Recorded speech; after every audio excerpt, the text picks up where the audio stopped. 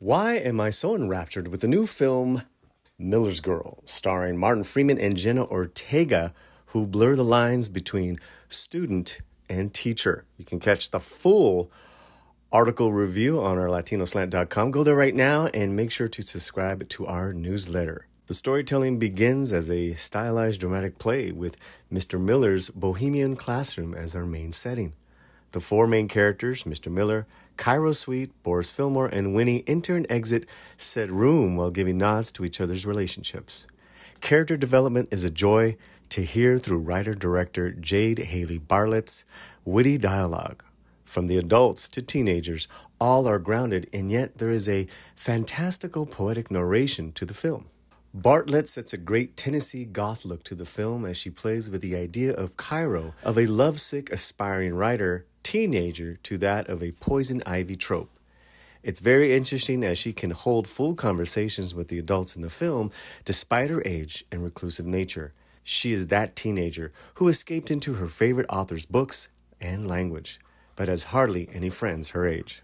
And when we talk about language and the story, let's hear from the star herself, Jenna Ortega, at this year's Palm Springs Film Festival. Also want to mention is if you have it in you, I feel like it's a good movie to watch multiple times because again, the screenplay has been worked on for such a long time. It's so beautifully done, but there's so many bits and pieces um, that you'll find early on in the script. You'll find you know notes and symbolism and the kudzu and just there's there's so much that visually went into the film as well um, that I think that you know going into with, with fresh eyes you're not aware of. Um, but it, it, it, it's so beautifully. So let's get to the main conflict of the story. Cairo proposes her midterm project of taking on the works of author Henry Miller, which is banned from the school's curriculum, to make it her own. Mr. Miller says no at first, but knows that this type of project would catapult her in her writer's career. This is where both our characters will walk a tightrope with each other as they dive into the affair of the mind, painted in literature and fantasy. Unfortunately, they must come down to earth and those have consequences at the end of the film. Martin Freeman as Miller gives a very measured, likable performance. You see his passion to teach literature, but also being lost in his state of stale academia, ultimately not pursuing his own writing career. Freeman and Ortega have incredible dialogue back and forth with each other, which again make this film feel special. They have this incredible passion for each other's writing, which is really the foundation of the relationship. They recite each other's work, and define the characters she has created in her stories.